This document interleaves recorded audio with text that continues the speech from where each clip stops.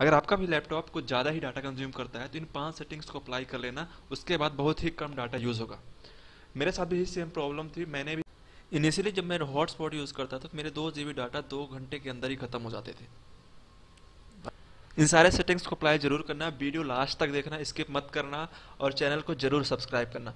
Hi there I am Manish Kumar Jaiswal पहले setting के लिए सर्च वाले ऑप्शन पे क्लिक करना है, जो आपके स्टार्ट बटन के साइड में होता है, इसको टच करना है।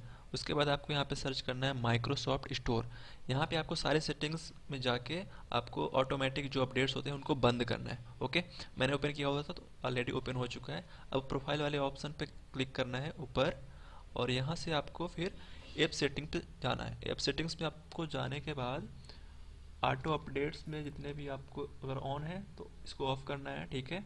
और सारे चारों ऑप्शंस को ऑफ़ करना है। वीडियो ऑटो प्ले को भी ऑफ़ करना है। पहली सेटिंग होगी। उसके बाद अपन दूसरी सेटिंग्स पे जाते हैं। फिर से सर्च आइकन पे सर्च करना है सर्विसेज़ सर्विसेज़ को ओपन करना है, ठीक है? सर्विसेज़ ओपन होने के बाद सर्विसेज़ ओपन होने के बाद आपको स्क्रॉल डाउन करना है। नीचे आपको स्क्रॉल डाउन करना है और आपको विंडोज़ अपडेट का ऑप्शन सेलेक्ट करना है। विंडोज़ अपडेट को आपको राइट क्लिक करना है। राइट क्लिक करने के बाद आपको प्रॉपर्टीज़ का ऑप्शन शो होगा। वहाँ पे आपको क्लिक करना है। प्रॉपर्टीज़ को क्लिक करने के बाद आपको मैनुअल ऑप्शन दिखेगा। मैनुअल ऑप्शन में आपको डिसेबल का ऑप्शन क्लिक करना है। डिसेबल करने के बाद आपको स्टॉप ऑप्शन पे क्लिक करना है। मेरा ऑलरेडी स्टॉप है तो आप स्टॉप ऑप्शन क्लिक करेंगे और इसको ओके कर देंगे। ये हो जाएगा आपका दूसरा सेटिंग कंप्लीट अब चलते हैं हम तीसरे सेटिंग की तरफ़। तीसरे सेटिंग के लिए आपको फिर से सर्च बार ऑप्शन पे जाना है और वहाँ पे फिर से आपको सर्च करना है इस बार सेटिंग सेटिंग ऑप्शन आपको सर्च करना है। टाइप करते हैं हम पर सेटिंग उसके बाद ओपन करेंगे इसको।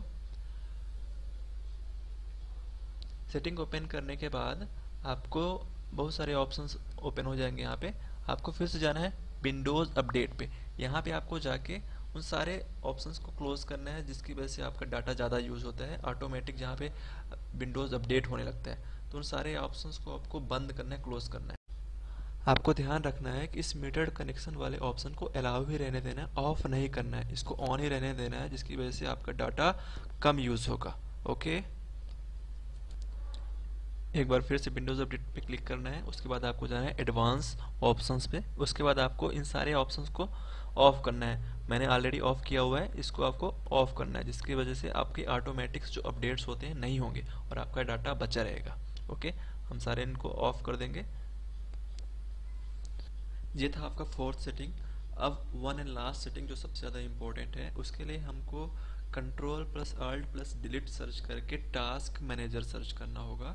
टास्क मैनेजर सर्च करने के बाद आपको स्टार्टअप एप्स पे जाना है, उसके थ्रू हम माइक्रोसॉफ्ट ड्राइव या फिर गूगल ड्राइव को डिसेबल करेंगे, जो हमारा डाटा कंज्यूम करते हैं। जब बैकअप होता है ऑटोमेटिक सिस्टम बैकअप होता है, हमारे डाटा बैकअप होते हैं इन सर, इन पे।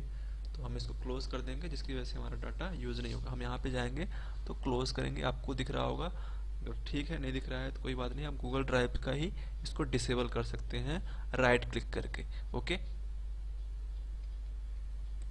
अगर आपके में माइक्रोसॉफ्ट वन ड्राइव शो कर रहा है तो उसको भी आपको डिसेबल करना है राइट क्लिक करके।